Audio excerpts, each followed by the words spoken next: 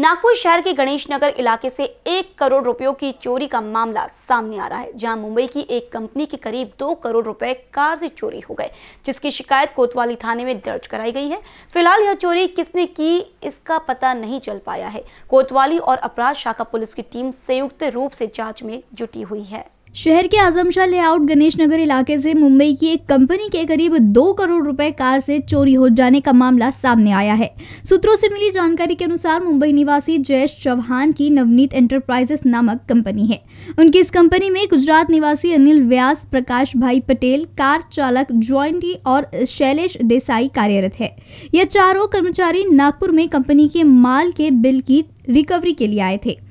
चारों कर्मचारी आजमशाह लेआउट गणेश नगर में किसी जतिन खारा के यहाँ किराए के कमरे में रुके थे। ये नागपुर के व्यापारियों से दिन में सफ़ेद रंग की एक्टिवा पर बिल की वसूली करते थे। चारों दो फरवरी को नागपुर आए थे। उन्होंने करीब एक करोड़ नब्बे लाख रुपए की वसूली की और उक्त रकम को कमरे के अंदर रखने की बजाय उन्होंने कार के अंदर ही छिपा कर रख दिया था। ये तीन फरवरी की बात है। इसके बाद चारों कमरे में ऊपर जाकर सो गए थे। चार फरवरी की सुबह जब अनिल व्यास सोकर उठा और कार के पास गया तो उसके होश उड़ गए। कार के कांच फूटे हुए थे और सारी रकम चोरी हो गई थी।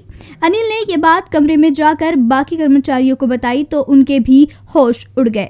साथ ही उन्होंने गलती का भी एहसास होने लगा।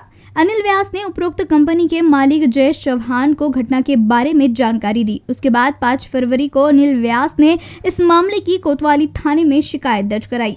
गुप्त सूत्रों से मिली जानकारी के अनुसार नवनीत एंटरप्राइजेस कंपनी ने अपने कर्मचारी अनिल व्यास प्रकाश भाई पटेल, शैलेश देसाई और कार चालक जॉइंटी को नागपुर में मॉल के बिल की रिकवरी करने के लिए भेजा था।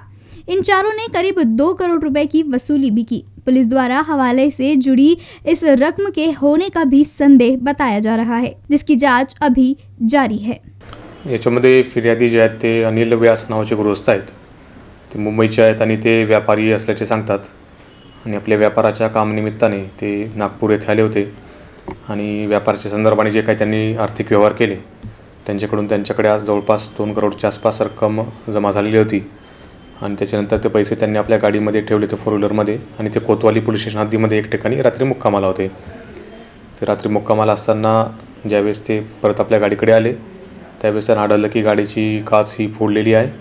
आणि त्याच्यामधून त्यांनी जे गाडीत व्यवहाराचे पैसे ठेवलेले होते ते कोणीतरी चोरून घेऊन गेलेले. आहे तर या त्यांच्या फिर्यादीवरून कोतवाली पोलीस स्टेशन येथे आपण चोरीचा गुन्हा दाखल केलेला आहे. आणि याच्यामध्ये C C T V footage तसेच इतर जे काही आहेत तांत्रिक बाबी त्यांचे विश्लेषण करून क्राईम युनिट याचा तपास करत आहे. त्याच्यामध्ये आता जस्ट एफ आय आरच दाखल केलेला आहे. तर क्राईम युनिट त्याच्यामध्ये तपास करत आहे. ते हे जे काही कुठे पैसे ठेवले काय ठेवले तर इतर कोणाचा सहभाग आहे का स्थानिक व्यक्तींचा? तर त्याच्यामध्ये अधिक चौकशी करून आणि फुटेज वगैरे तपासून त्यानंतरच आपण ते विश्लेषण त्याचं करता येईल. इन न्यूज़ के लिए अखिलेश भारद्वाज के साथ अक्सा अंसारी की रिपोर्ट.